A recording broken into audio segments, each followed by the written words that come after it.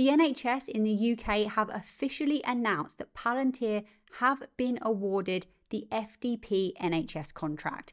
It's official. We have finally received the news that we have been waiting on for such a long time. After so many delays, today on the 21st of November 2023, it is finally official. So Palantir will be the suppliers of the FDP to the NHS. Now, this contract is super important for many reasons that we'll talk about in just a second, but it's also worth pointing out that Palantir will be supported, um, it will be a joint partnership with two other companies. Accenture, which we already knew about, Accenture, however you want to say that one, and also Carnall Farrar, which is a company I've not personally heard of. Palantir will be the main drivers in this contract, but they will have the support of these two other companies. We're not that sure on what they'll actually do, and we will read the official NHS announcement about this in just a second. It'll be the first time that I'm actually reading this, so super excited about that. But yeah, this contract is big news. It's big news as we've been speaking about on this channel because it's one of those catalysts in Palantir's lifetime that means many different things. Firstly, obviously, £480 million is a substantial amount of money. Now, I'm not, again, sure on the split between Palantir and these two other companies, but aside from the money, this is really significant because Palantir are actually a pretty small company in the grand scheme of things. They are nowhere near as big as the likes of Microsoft or Apple, any of those mega, mega tech companies. So, quote unquote, little old Palantir over here are now in charge of transforming the, the whole of the UK's uh, healthcare service in terms of data.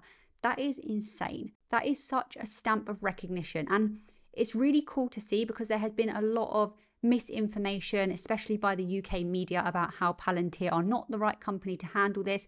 There's even been like some legal battles and campaigns and how Palantir are a so called spy company and they'll be stealing and selling data. So, this is a really, really big moment. It's a big moment for anyone that's been following the company, who anyone that invests into the company, and anyone in the UK that just wants to see the NHS get better. Also, it obviously means that Palantir are valuable enough and have shown enough value working with the NHS previously that they are responsible. They've been given that responsibility now to actually be the supplier of the FDP. This means, being that valuable, that we should expect them to carry on integrating into different healthcare organisations and providing their value there. We might expect to see that actually they work with more uh, public healthcare organisations around the world and in Europe, and again with private organisations too.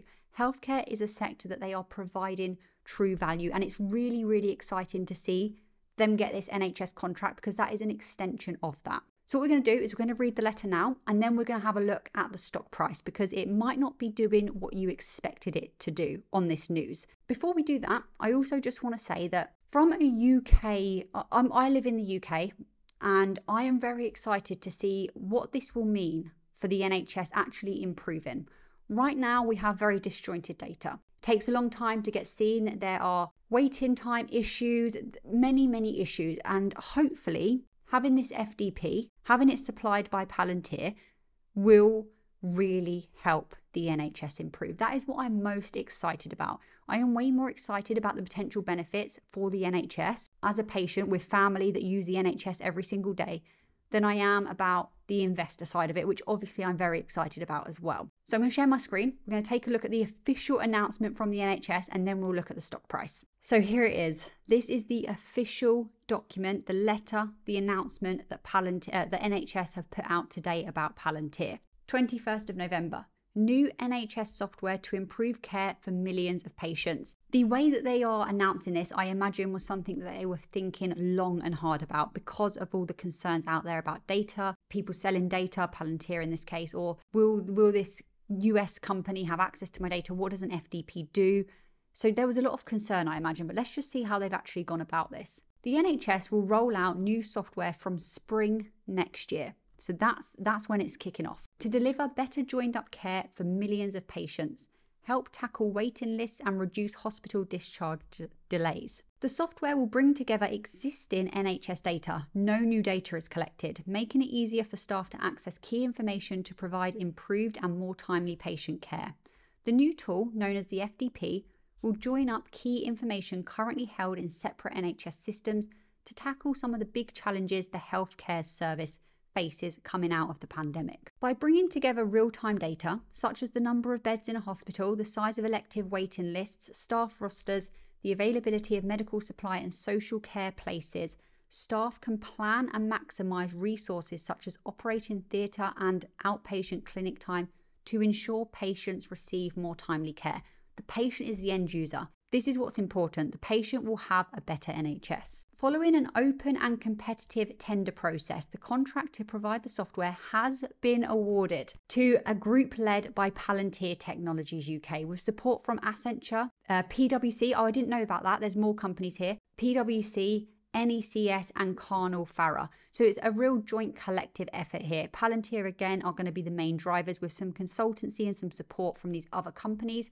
Maybe they need them, maybe they need the help there for whatever reason, or maybe it's just a way of actually giving trust and providing trust in the UK population because these other names are ones that they're familiar with. I'm not sure. The contract award will uh, see investment over the course of seven years as more trusts join the platform.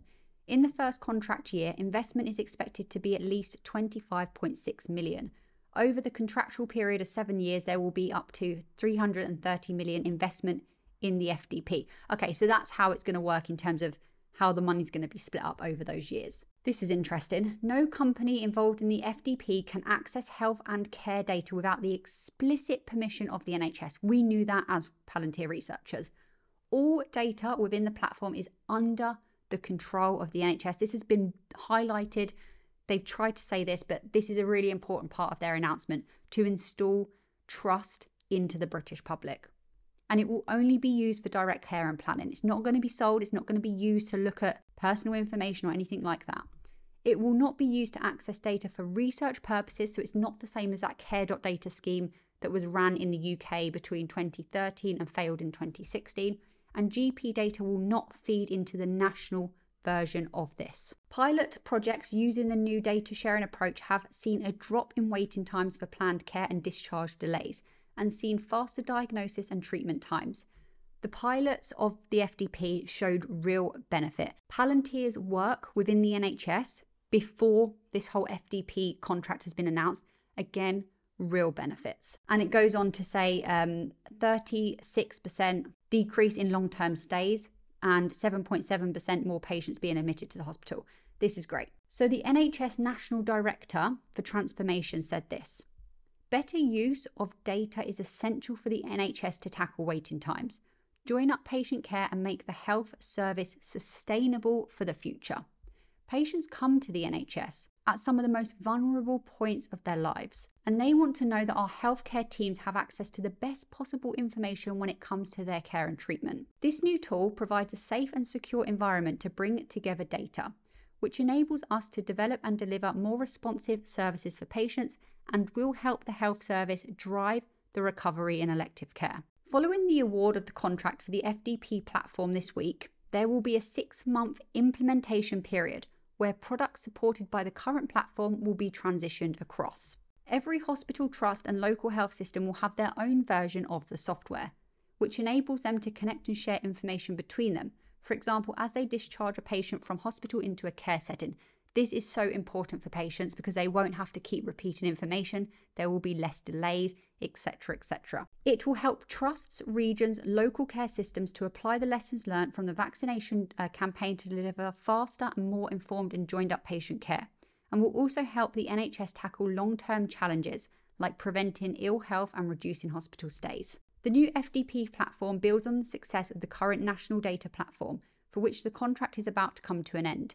Rigorous integration of local data during the pandemic allowed health services to better anticipate the virus, identify and protect the most vulnerable, put resources where they're needed, and then deliver the most precise vaccination program in history. So, what has Alex Karp had to say about this? By the way, Alex Karp has just sold 585,000 shares at 21 uh, dollars 50 Palantir shares. He's had a nice few days. He's made like 12 million dollars on that sale and now he's got the NHS contract. So early merry Christmas to Alex Karp. Let's see what he has to say and then we'll take a look at the stock price if there's nothing else in here that we need to look at. I will leave this linked in the description.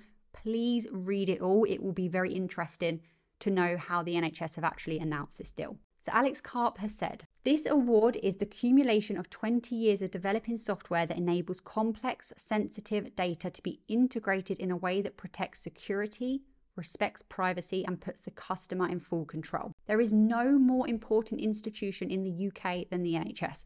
100% agree. And we are humbled to have now been chosen to provide that software across England to help bring down waiting lists, improve patient care, and reduce health inequalities. It builds on our role supporting the delivery of the COVID 19 vaccination vaccine, and more recently, helping individual NHS trusts to schedule more operations. The FDP platform will also the FDP will also be the first use case in the NHS of privacy enhancing technology, a nationally assured a nationally assured and uh, funded privacy tool to benefit all NHS organisations. It will ensure that the NHS can meet the highest technical standards of security for managing patient data, supported by robust information governance and data protection processes. The procurement for the NHS PET has been run separately from the FDP, and the suppliers are deliberately different. NHS and PET. Oh, I've just sorry, Alex Karp's section stopped there above, and this carries on. I didn't see the uh, question, uh, the quotes then, and I was wondering why he was speaking about the uh, NHS PET. Makes a lot more sense now. Will be an independent service ensuring that treatment of patient uh, of data is separate from the storage of data to safeguard data and ensure that it is always kept safe and secure. And then it's going to go on to talk about some of the benefits that are seen, what different um, important people are saying about this, and then it gives how the FDP will initially be focused on supporting the five key NHS priorities. I think that's the most important bits of the letter. I will include it in the description. But hey, let's just have a look at what the Palantir, what Palantir stock is doing right now because it's going a bit crazy. So what we can see that on the day, Palantir stock is down by 3.14% right now. I think this is a classic case of buy the rumor, sell the news. Lots of people are taking profit, and obviously, we've had Alex Karp, along with other board members and directors, actually selling substantial amounts of shares yesterday and over the last few days. But remember, although it's dropped quite significantly today, uh, over the last one year, Palantir stock is still up 223.4%, which is absolutely nuts. Incredible, incredible performance there. Very excited to finally get to make this video. Let me know all of your thoughts, whether you actually thought that it would get announced today in the comments below. If you want to come and join the Patreon so you can continue talking about this deal on Palantir as a whole, join the Discord, join the Patreon. I'll leave a link in the description below. Thank you so much for watching, and I'll see you in another video very shortly.